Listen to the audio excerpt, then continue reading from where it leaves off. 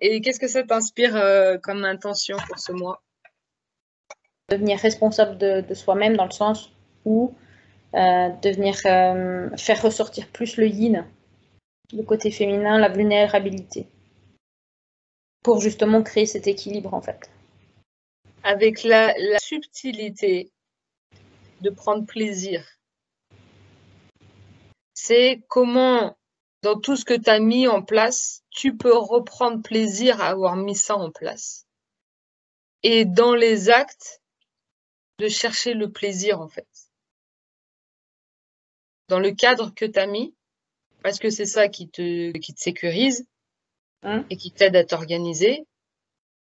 Maintenant, c'est comment tu y mets du plaisir là-dedans à être dans ce cadre-là, mais à avoir du plaisir à ressentir et à t'ouvrir aux émotions et aux ressentis quels qu'ils soient.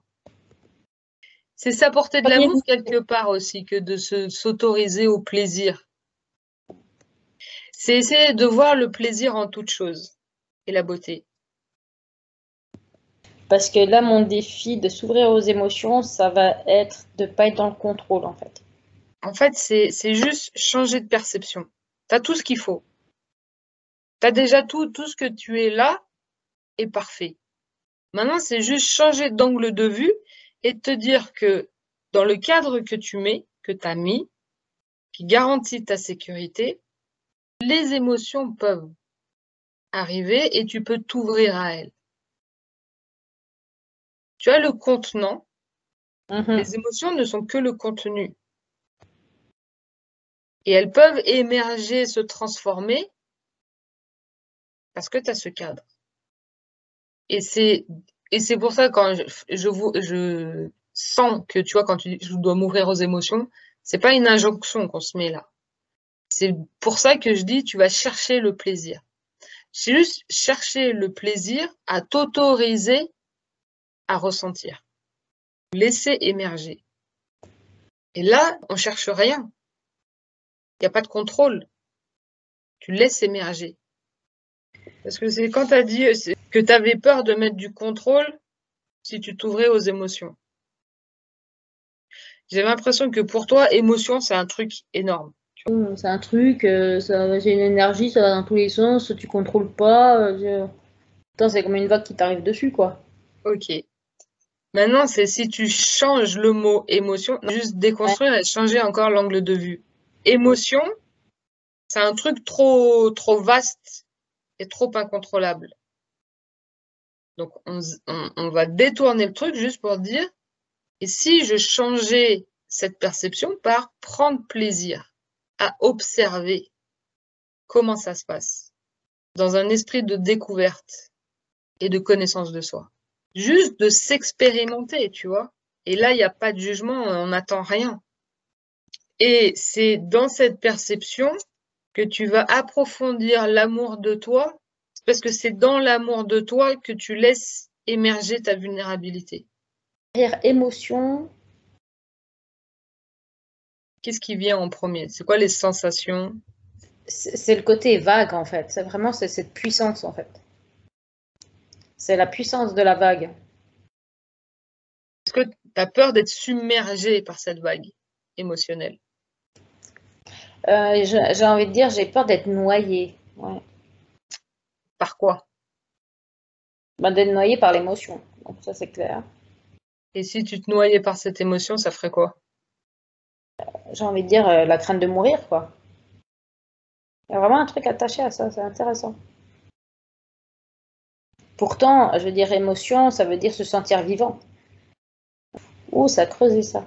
Il y aurait peut-être un côté, effectivement, euh, euh, peur de se sentir vivant. Quand je te dis que derrière ta plus grande peur se cache ta puissance, ta peur de ta vulnérabilité, ta peur de tes émotions qui te submergent de par leur puissance et de mourir. Tu as peur de mourir si tu montrais ta puissance. Mais si tu t'ancres à la terre, c'est toujours elle qui te nourrit et qui te retient et qui te berce à chaque fois s'il y a émotion, il y a vivant. Donc c'est comment j'accepte d'être traversée par la vie. Et comment même j'arrive à m'abandonner à ça. Et c'est juste l'illusion d'une peur que l'on a au départ, que à force de la sentir monter et de s'habituer à cette sensation, tu vas voir qu'en fait au départ, je crois que c'est insurmontable et on y va crescendo. Et puis le jour où tu y arrives, tu dis, ah mais c'était que ça et ça s'est passé en, une seconde.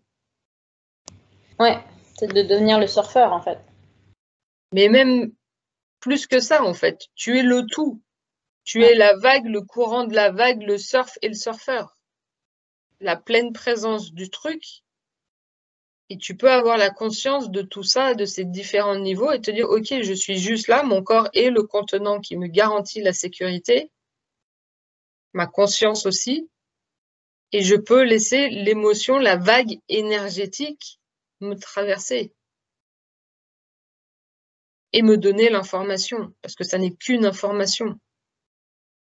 Et c'est que mon interprétation qui me l'a fait catégoriser et me fait en avoir peur. Non, mais là, ça me parle euh, beaucoup, hein, ce côté de... Ça me permet de relativiser le côté l'émotion est une information. Et là, je suis en même temps en train de prendre conscience que j'accepte qui je suis. Et pas justement, on revient avec la gardienne, parce qu'on m'a dit que j'étais. Je ne sais pas si c'est le terme accepter, mais s'autoriser à. Et à reprendre plaisir à revenir à qui je suis. M'autoriser à goûter qui je suis. Et toujours avec cet œil observateur de conscience dans cette découverte de soi, en fait.